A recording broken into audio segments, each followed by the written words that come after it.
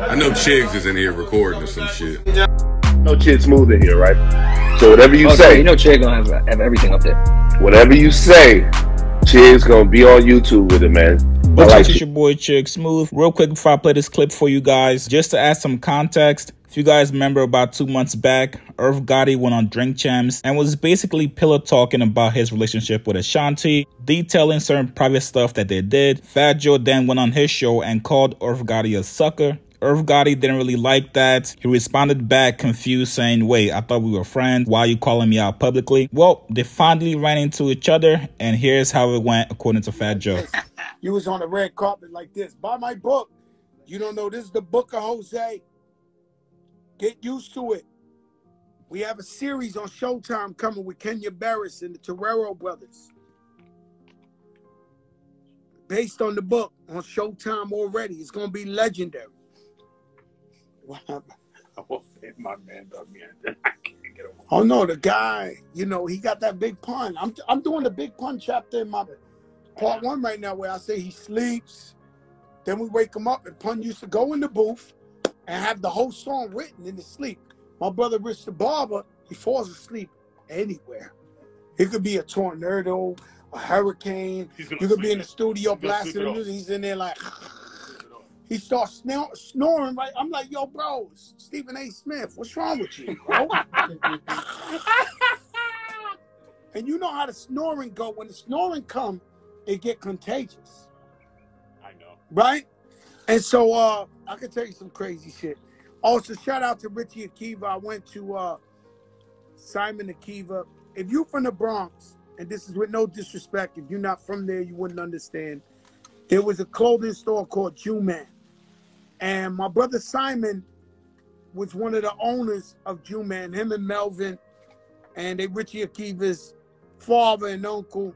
Beautiful guys. So I went to the funeral, you know, and I ain't gonna lie, I don't, uh, um, it was so moving, man. It's so touching, man. And, and and to see how he affected so many, like he got a street guy, Fat Joe, in there, and there was definitely some Jewish people looking like I did not know Simon knew Fat Joe like this. When Fat Joe came by himself first thing in the morning, Staten Island, and was there. And the, I think Leonardo DiCaprio was there. Everybody you could.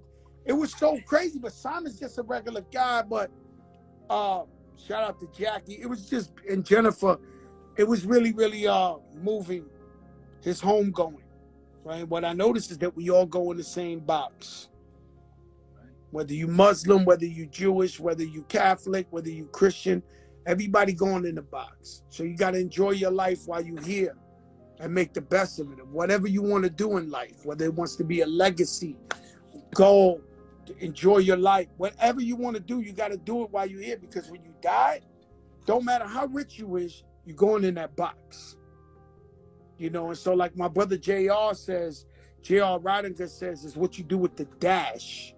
You know, when you go to the cemetery, they put the day you were born, the day you died, what you do with that dash. That's a bar. Get what I'm saying? That's a bar. It's what you do with the dash that really matters. Did you help people? Were you righteous? Did you look out for people? We also did the homecoming of JR. J Lo was there, Ben Affleck, uh, So Jamie Foxx. Shout out Lauren Ridinger, Jamie Foxx, and S- Swizz and Alicia. They curated the whole thing, and DJ Cassidy, and who else was there? Gloria Estefan and Khaled, and and and uh, uh, Dave Grutman, and if I if I oh Ja Rule, Irv Gotti, Irv Gotti.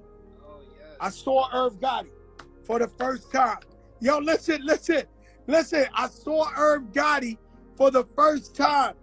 And let me tell you something. Love is something incredible. I seen him and I kissed him right in his forehead. He was sitting down. I walked up to him, I kissed him in his forehead. Do you know a kiss in the forehead is the most honest kiss you could give? Mm. Did you ever know that? You could Google that. The most honest kiss is in the forehead. God wanted it like that. I walk and I immediately see Irv. I kiss him in the forehead and I say, I love you. Nobody loves you more than me. And you can see he normally would argue with somebody, but he looked at me like, okay, like fuck it. Yeah. I get it, Joe. You love me. You know what I'm saying? That you you, you know, it's my brother, and I love him, man. I love John, love Chris, and uh, and that's how that happened right there, man. I seen my brother, I kissed him in the forehead, let him know I love you. And so when you tell a person I love you and I love you, and you show them, but you show, there's really nothing they can do. They just know you really love them, right? And so uh, that was amazing to me. Hold up, let me see if I got my next guest.